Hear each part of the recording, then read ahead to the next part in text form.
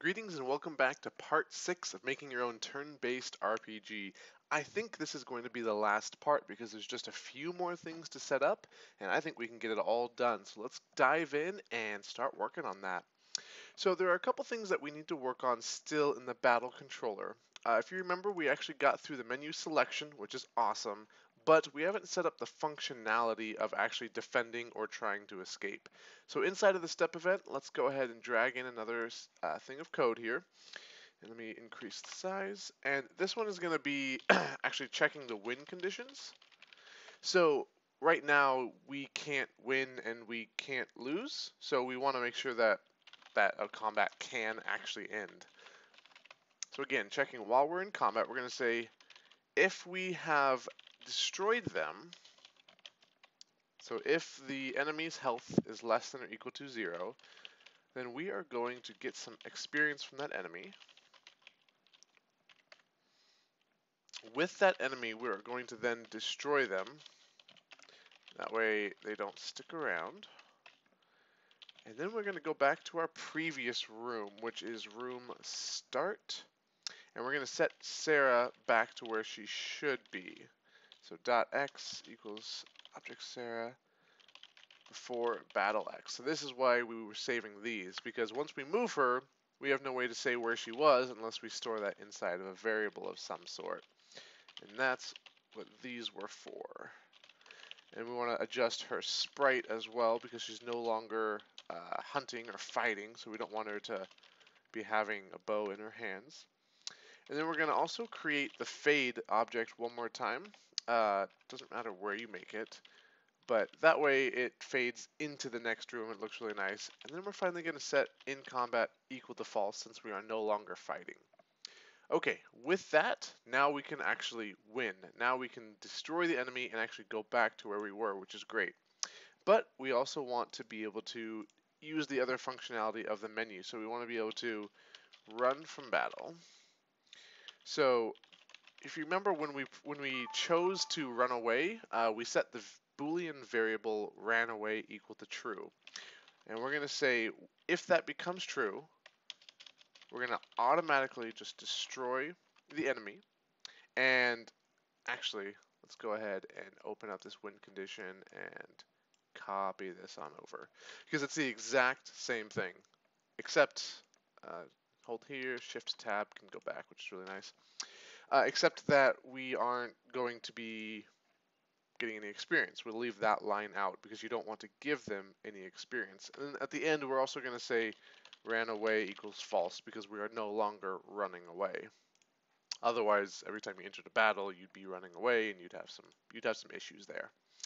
And then the last thing we need to do in Battle Controller is increase uh, the defense when that's chosen. So while we're defending, we need to do something as well. So while we're in combat, we're going to say if is defending. Again, that's a Boolean variable that we've created, a Boolean being just true or false. Uh, we're going to upgrade her defense. Defense while defending. And then if she's not defending, we're going to set her defense just back to 1.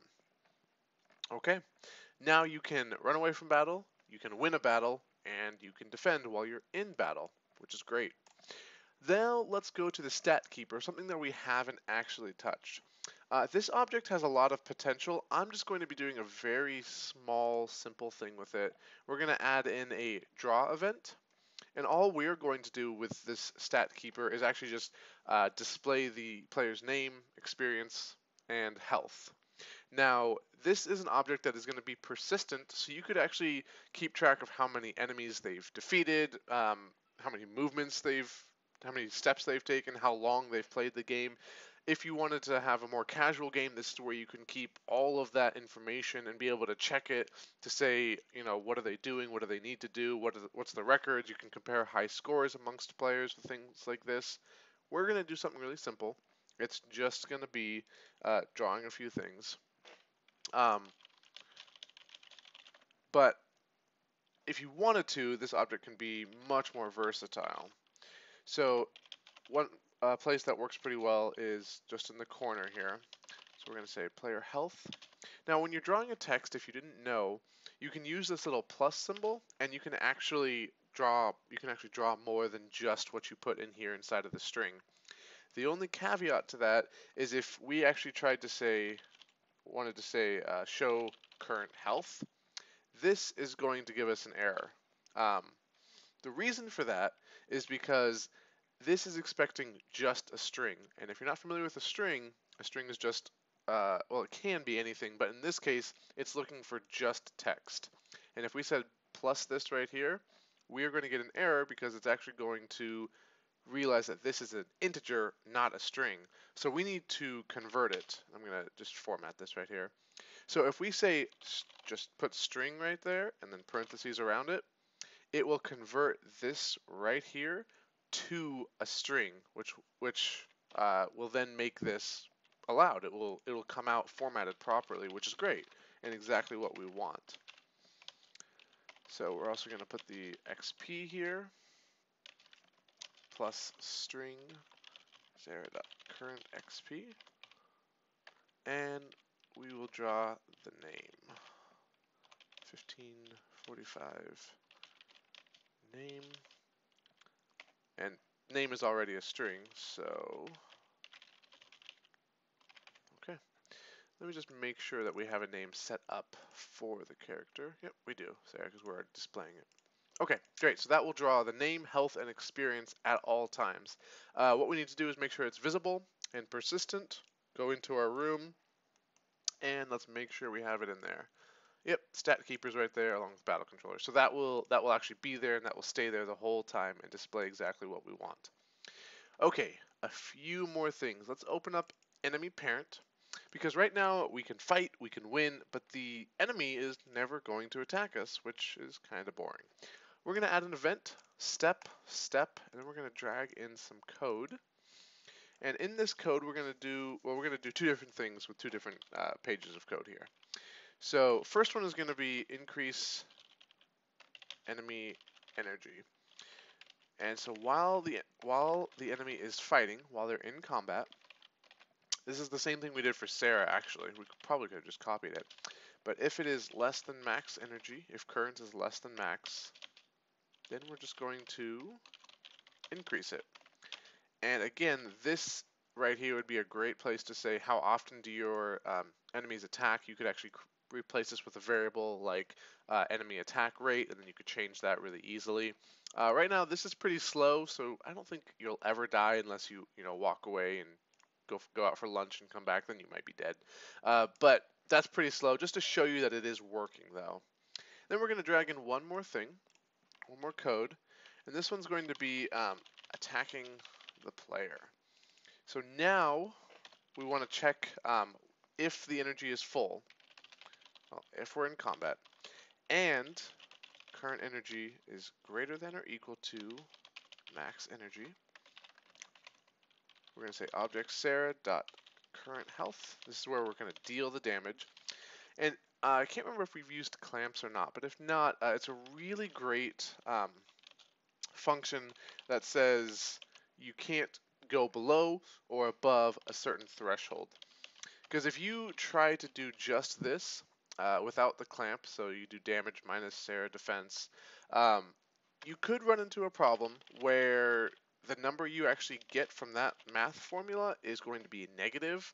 So then uh, either the enemy could heal Sarah when they attack, or if the enemy had a higher defense than your attack for whatever reason, you could actually heal the enemy.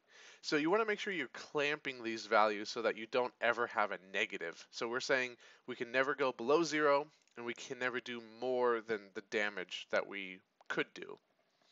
Hopefully that makes sense. Uh, it's kind of important to make sure you got there. But I think that will that will actually do everything. So let's go ahead and run this, make sure I didn't make any typos, and that we have a fully functioning turn-based RPG. So, health, XP, name, all displayed right there. Let's run into combat. His energy bar is going up. We're doing this. Let's try defending. Okay, we used up half our energy to defend, which is great. So he's going to attack. That's half of our health right there, or half the damage that we should take, and it goes back up. So now let's try to attack. Perfect. And now we take one because we're not defending. Let's try to escape. Oh, we got a problem with escape. Let's do a quick check on that. So we've got uh, in battle controller, it's going to be at line 44 in the step event. So let's open that up, step event, while we are, oh, not there, in the first step event on line 44. So where is our problem? We've got battle menu selection is equal to 2, and we are checking for spacebar, and, okay. So I know exactly where the error is. Now let's run this one more time and press defend and see exactly what the problem was, where it actually was at. No, at escape, sorry. So max energy. So we're having a problem get, oh, that's what it is. Spelled energy wrong. Oops. okay. Now, let's try running that. Hopefully you guys saw that and fixed it yourself. Let's try to escape. Okay, we did. We escaped. And it was fortunate that we did it the first time.